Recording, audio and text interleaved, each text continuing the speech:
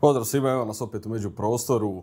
Prvenstvo riješeno nakon 34 kola, Dinamo je novi stari prvak. Sve se to dogodilo nakon što se Hajduk već odavno raspao i trenutno je u nizu od devet utakmica sa samo dvije pobjede, a Rijeka je porazom u Varaždinu i definitivno prepustila taj naslov Dinamu. Momča Željka Sopića prije utakmice s Lokomotivom u 32. kolu imala je četiri poraza, u cijelom prvenstvu i u 2024. u 15 utakmica primila sve skupa četiri gola. Nakon toga tri poraza, osam primljenih golova i naslov je otišao u Zagreb. Protiv Lokomotive su odigrali prvu tu lošu utakmicu u je krenila serija pada. Na Rujevici protiv Dinama su bili ok, kao dominirali su, ali prvenstveno zato što je Jakirović svjesno im prepustio posjed i sad u Varaždinu serija tragikomičnih grešaka, loša partija Emira Dilavera, ono su prvenstveno što je kumovalo tom porazu i što je omogućilo Dinamu da osvoji naslov.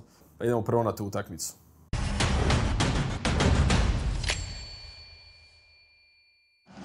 Dobar visoki pressing rijeke ovdje. Ba nema opciju nego daje na bok. Sve je zatvoreno, ide duga lopta na Drožđeka. Sad idemo ovdje Dilavera kako loše procjenjuje, loše reagira u skoku, a onda ne uspijeva blokirati Drožđeka koji u 16. minuti zabija za 1-0. Ovdje je već sve krenulo nizbrdo za rijeku. Dosta loša procjena Dilavera.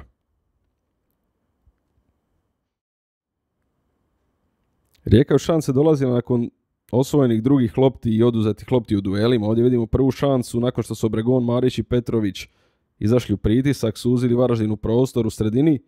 Obregon je oduzeo loptu i dao za Marića, a Zelenika to dobro brani. Još bolja obrana Zelenika odmah u korneru koji je uslijedio nakon te šanse.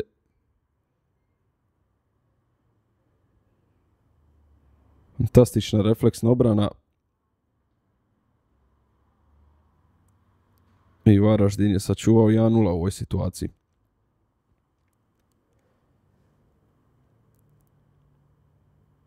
I onda drugi pogodak Varaždina. Drožek je ovdje napravio ogroman posao u presingu. Čabraja onda vraća užasnu loptu za Labrovića, koji ne uspijeva iskontrolirati. Šego tu pogađa na prazan gol. Pravilo glasi da nikad ne vraćaš loptu u svom vrataru okvir gola ako ne moraš. Tako da nema nikakvog razloga da mu na ovaj način vrati ovu loptu. Katastrofalno vraćanje. Lopta nije ni po podu, skače mu. To su naivne greške koje se jednostavno ne smiju dešavati ekipi koja se bori za naslov to u ključnim trenucima.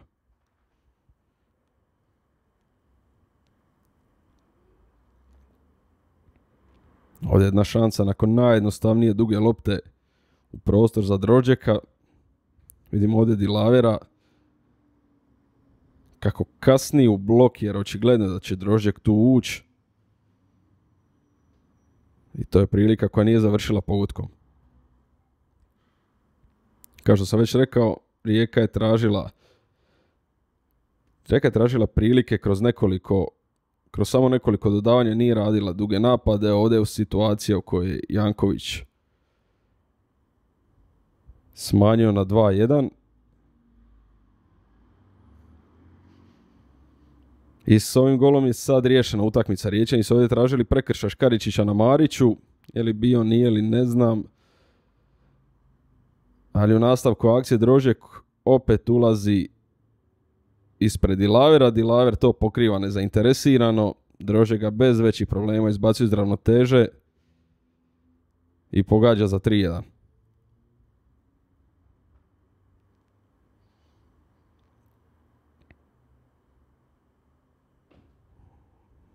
Dilaver to i može i treba puno bolje. Najjednostavnije ga Drožek ovdje izbacuje iz ravnoteže.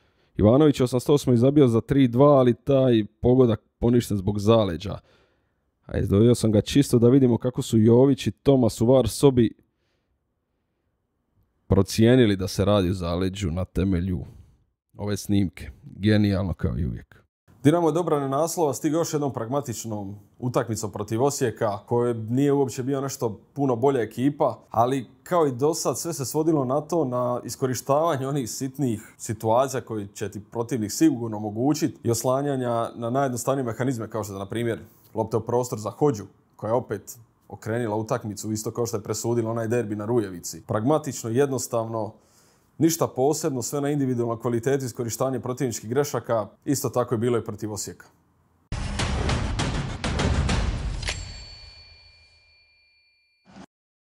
Osijek imao prvu šansu na utakmici, to preko Mjereza koji se othrva ovdje Ristovskom i doveo su u idealnu poziciju za udarac glavom, što je njegov forte, ali Nevisić ovdje to sjajno brani. Mjerez jednostavno nezaustavljiv kad je skok igra u pitanju, ali Nevistić odlična obrana.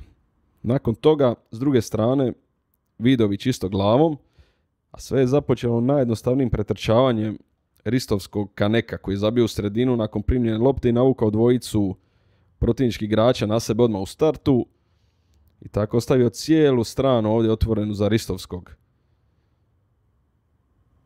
koji sad ima vremena skenirati situaciju, kad neko je tamo ušao, napravio višak, Dinamo s velikim brojem igrača u završnici, Vidović dobro ulazi na ovaj ubačaj Ristovskog, ali lopta odlazi pored gola. Ovo je jedna od tih situacija na koje Dinamo računa uvijek. Kontrola sredine terena bez izlaska u pressing. Duarte vidi Neašmića kao opciju za prijenos lopte do, do Jurišića, ali Mišić ima Neašmića noku i odmah na Duarte u zamah reagira izlaskom u presjecanje. Odmah Dinamo tu slaže nekakvu polu šansu, ništa od toga.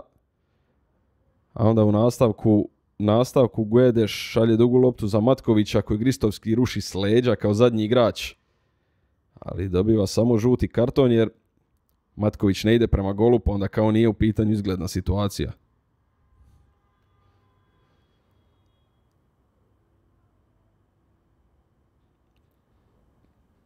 Još jedan primjer kako Dinamo ne treba puno za stvoriti šansu, loše ispucavanje Kolića. Vidović osvaja loptu, Dinamo u sekundi tu stvara višak. Ali Brodićev šut je blokiran jer ga je Guedeš ispratio. I onda prijelomni trenutak, Ogivari na lopte u prostor za Hođu, identično kao i na Rujevici u prošlom kolu, kad je Hođa zabio pobjednički gol. Duarte ga ovdje ruši, a Kolarić nakon pregleda snimke ocjenjuje da je ovo rušenje u izglednoj situaciji za postizanje gola, da je crveni osjekom stoperu i dosuđuje slobodni udarac na, na rubu 16 terca. Dakle, ne penal jer je do kontakta došlo ovdje ispred 16 terca.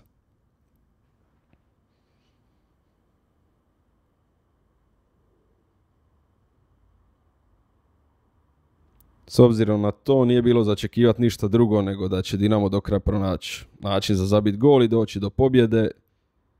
To se dogodilo u 72. minuti kad je Ademi nakon skraćenog kornera Mišića glavom pogodio za 1-0. I to je zapravo označilo da je Dinamo i službeno prvak.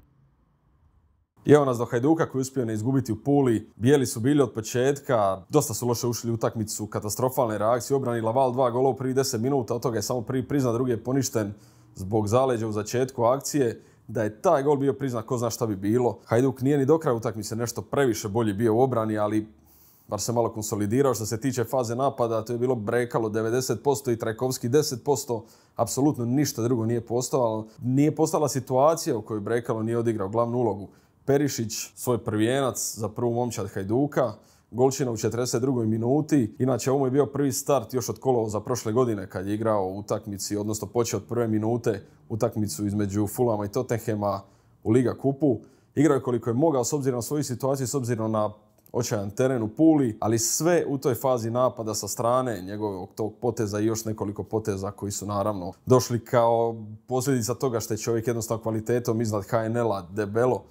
Sve se svodilo na Brekala i u manjoj mjeri na Trekovskog. Idemo vidjeti.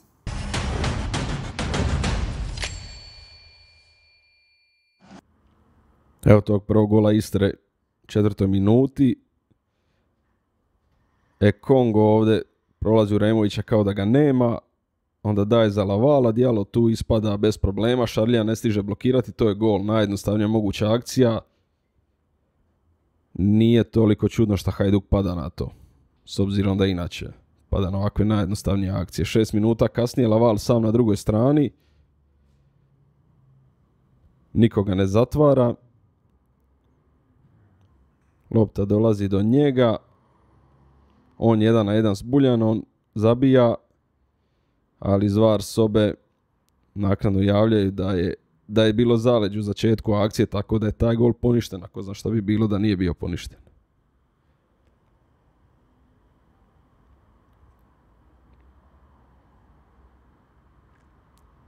Hajduk je najčešće pokušavao zaprijetiti Istri ovim udarcima na kulazak u sredinu kao što ovaj Trajkovskog, jer druge ideje uglavnom nije imao. Vidimo ovdje i Brekala. Ako jednog takvog pokušaja domaćini su uspjeli složiti kontru i bez većih problema došli u šansu, samo što je ovdje Fileov pokušaj obranio Buljan.